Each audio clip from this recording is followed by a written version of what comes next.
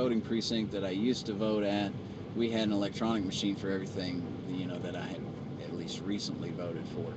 And here they had a, uh, a paper ballot. And also, you know, not to criticize too heftily of these, and not these people at all, because it's really not necessarily their fault, but what they consider to be a private vote is kind of a joke. I mean, it's, uh, you know, it's a little table, you know, it's kind of over away from their table, which is good, I guess. And, but it's, uh, you know, it's just a little table with three little pieces of that corrugated plastic, you know, board, uh, you know, poster board type material stood up, you know, and, and then there's another one on the other side with two other pieces of it sticking up, you know, to make a little bitty private window. And then you carry your ballot over to the machine and scan it through. So the first, first vote, I'd like to remind you all today that was registered at this voting precinct, Thomson Hood Veterans Center. I can't re- really remember the designation number of it. The first vote cast there today was cast by freedomradio.org for Congressman at the moment, Ron Paul, soon to be president. And don't forget it. Uh, everybody uh, that, that's that's watching this now, and everybody that's going to watch it later on today, I hope you follow my example. um, you know, not because of any other reason than that is what you feel is right. Don't forget that even though we want to take down Obama, if if if the media is right and Ron Paul's completely out of this and he doesn't stand a chance, then what's it going to hurt to give him a vote? It's not going to hurt. If that is that what is that what your conscience tells you to do is vote for Ron Paul, but you think that you need to unite behind Romney so you can beat Obama, then then what do you got to lose? Vote for Ron Paul today because he's the right one to vote for, not because you really want to beat Obama. You really want our team to win. You need to remember things like follow the money trail. And if you follow the money trail, you'll you'll follow it to a place that starts to become really shady, and and there's a really big gray area between Republican and Democrat, because Goldman Sachs, if Romney is the nominee here, Goldman Sachs is going to determine our next election, President of the United States. And that's all I got to say. If you want to know why that is, you go look it up. Uh, we will have more information on that later on. Today we're focusing on the primary and some uh, wrapping up some other loose ends. You know, in other news, I've been doing a little bit of research on on the financial crisis lately uh, in Greece and Spain, Portugal, Italy. Uh, the euro is in serious trouble right now they're talking about bailing it out. Of course, um, you know, if you if you believe in this sort of idea, you might think that what it might get replaced with is some form of, of a world currency. And of course, you know, if we look at the example of the euro, of this banded together uh, currency, and you know, now that its demise is coming to fruition, you know, of course, uh, that should teach us to run scared from any kind of collective currency like that. Um, you know, we need to listen to, to Dr. Paul. Uh, we need to learn about the Fed. We need to learn how to, to get rid of them. And then we need to learn uh, about an actual uh, commodity based economy and, and, and currency. So keep these things in mind. If you haven't somehow haven't heard anything about all of this information at this point, you know, take a little bit of time today. It's 6 a.m., 6:20. You've got uh, you've got almost 12 hours to do a little bit of research and learn. If you're a registered Republican in the state of Kentucky, you can vote today in the Republican primary. If you need to uh, to find out your voting precinct, uh, there's a there's a Kentucky website that'll tell you where you know where you need to go if you didn't get a registration card or whatever. Uh, not a registration card, but a voter information card or whatever the heck they call it in the mail. then you can get online and check and see uh, where you're supposed to vote. And you should do that. You should go vote today. Uh, you know, even if you don't vote for the guy that I'm asking you to vote for, you know, go vote. I mean, I, I understand people's dilemmas with feeling like their vote doesn't matter because, you know, the reason I requested a paper ballot. If, if you want to look into these voting machines and, and what what they're doing to our our republic, uh, you'll find a lot of information on that. You know, and how they're owned by Diebold. All of them, you know, half of them are owned by Diebold, and how these things can be easily tampered with, and how all of our votes are counted by a company that operates in Florida but is based out of Spain. So basically, all of our votes are being counted by a foreign government. They determine the outcome of our elections. And we need to be concerned with any possibility of infiltration into our voting system and the corruption of such because all that I ask is for fairness, you know, and, and this is a republic, and if the vote is the vote and uh, and it doesn't come out on my side, then I'm perfectly willing to accept that, but I'm not willing to accept the uh, corruption and the cheating and the lying and lying the way to the top that has become so commonplace among our politicians. We need more leaders like uh, Senator Rand Paul. We need more leaders like Ron Paul. We need leaders like uh, Justin, uh, and, and I've still, the pronunciation of his last name is starting to elude me. Justin Amash is how Rand, Paul says it. Uh, we need to support him. We need to rally behind Thomas Massie today. We need to call our senators and our congressmen now to tell them that we support HCON Resolution 107. If I'm not mistaken, you know, all these numbers blur together from time to time. HCON Resolution, House Concurrent Resolution 107. this resolution is the bill that was, well, a concurrent resolution, it's not a bill, uh, that was introduced, uh, well, to the House. It's gone to committee. Uh, some of the particulars are kind of fuzzy right at the minute. It, it, was in committee and it's coming back out of committee uh, looking good and gaining steam from what I understand. This bill is targeted at President Obama and reasserting the uh, the power of Congress and Congress alone to declare war upon a country that has not directly attacked us or does not pose an imminent threat to our domestic safety or tranquility.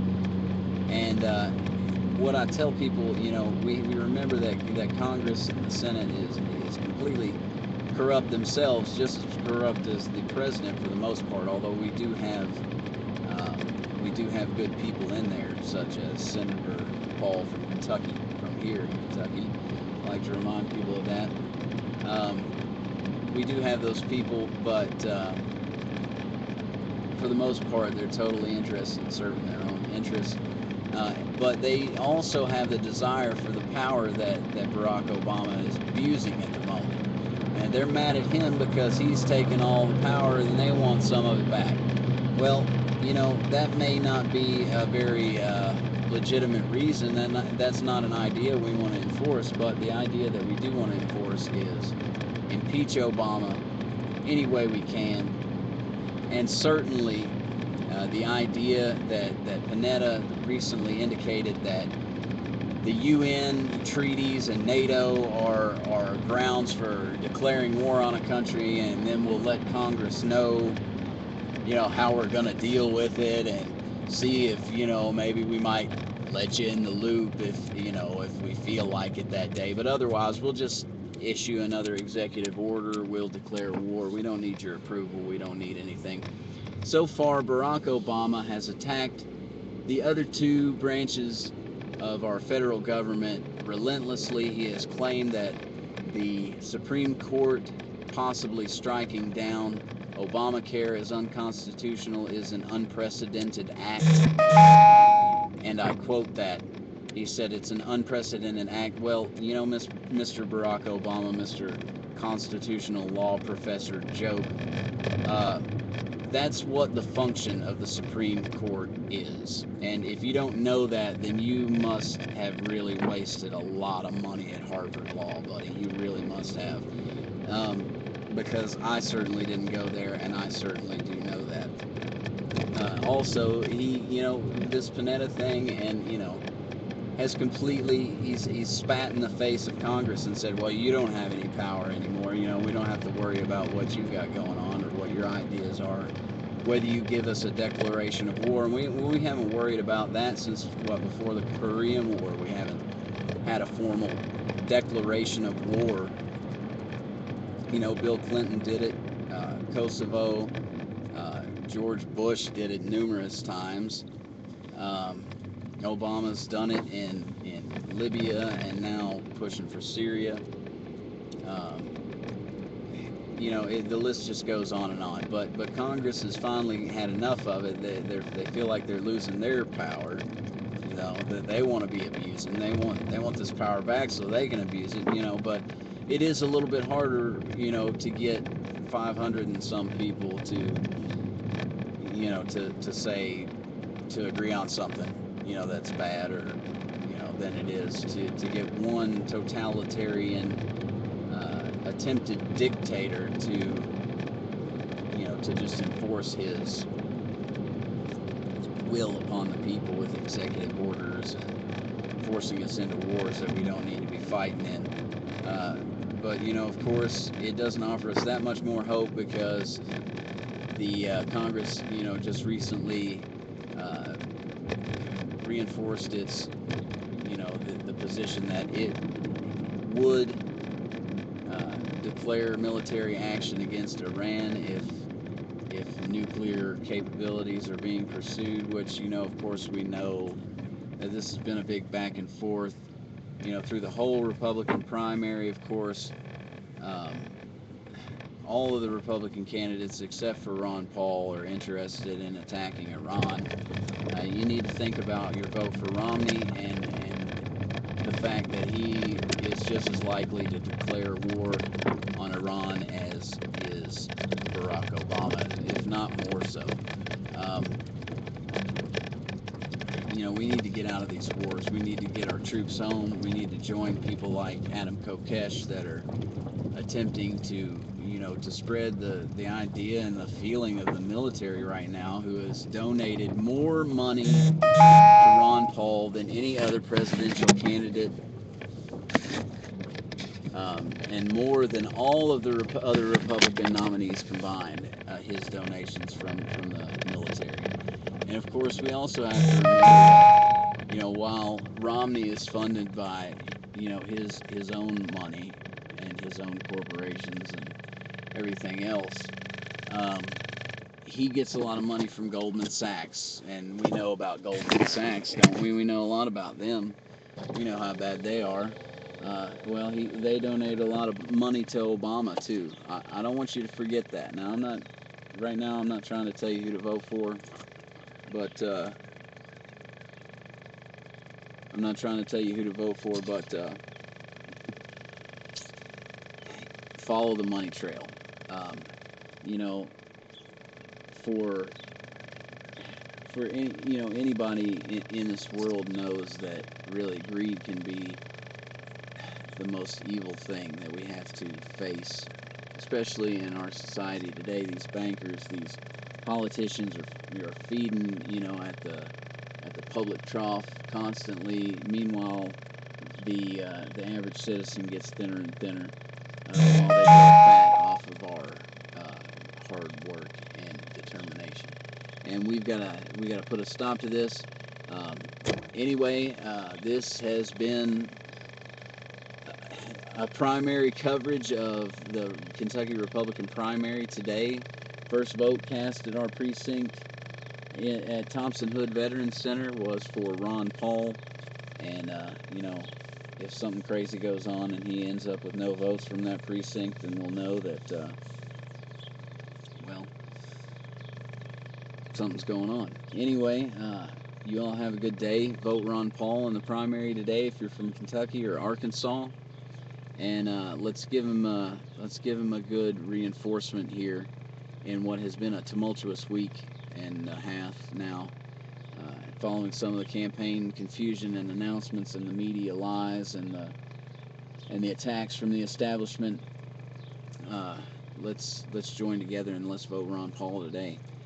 So thanks to everybody tuning in, and uh, we'll see you next time on FreedomRadio.org.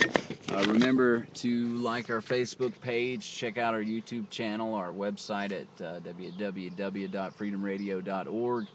Also, uh, we're now, of course, if you're watching right now, you know this, streaming on live on UStream.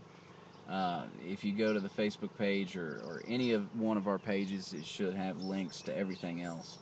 Uh, if you just follow them around, and if you have any input, you want to talk to us, you want to uh, help us get some things done, or if you have a project you want our help on, uh, you know, we're all about networking. Just you know, uh, contact us through the various channels, and uh, and we'll start working on things. We got to keep this liber- liberty movement alive, no matter what happens today and and in the future. Uh, we can never relent because, uh, as we know, when you know we've gotten